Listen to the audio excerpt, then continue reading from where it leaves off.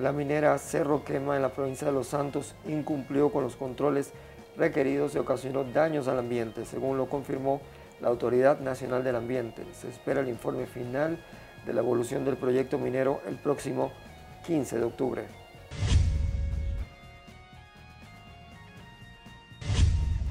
Además, en panorama, la Dirección de Obras y Construcciones del municipio de Panamá suspendió las obras del Hotel Central, ubicado en la Plaza de la Independencia, Corregimiento San Felipe, debido a irregularidades en los permisos de construcción. El inmueble lleva siete años de estar en restauración.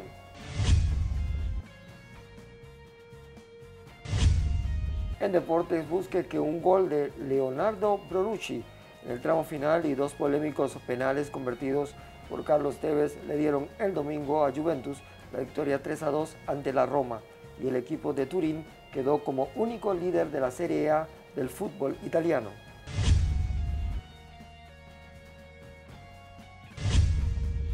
El mundo se informa que las autoridades en Dallas buscan a un indigente que podría haber tenido contacto con la única persona contagiada de ébola en Estados Unidos, informaron las autoridades. La persona no está considerada entre las 10 que sin duda tuvieron contacto directo con Thomas Eric Duncan, quien se encuentra grave en un hospital de Dallas. Un video casero podría convertirse en toda una campaña viral capaz de movilizar a millones de personas en beneficio de causas encomiables. El desafío conocido como Ice Bucket Chains, que acaparó la atención de personas en todo el mundo, es uno de los ejemplos más populares.